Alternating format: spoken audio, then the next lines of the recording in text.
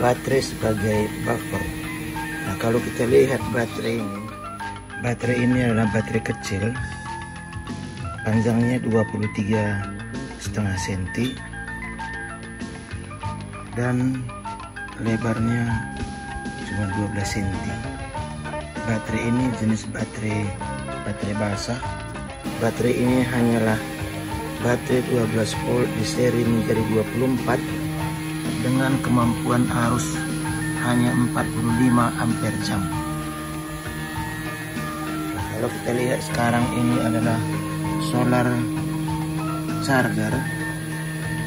Dia menunjukkan tegangan baterai 24,9 volt.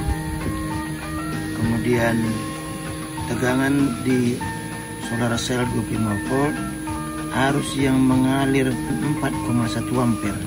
Dan ini semuanya dialirkan dengan menggunakan inverter luminous ini.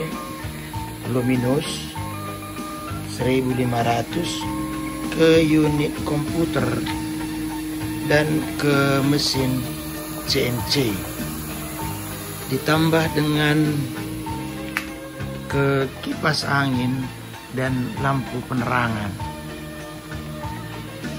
Nah jadi kalau kita hitung-hitung sebenarnya baterai ini tidak sanggup mensuplai kebutuhan rangkaian secara keseluruhan. Kekurangan arus dari baterai itu diambil dari solar cell. Nah, solar cell pada siang hari.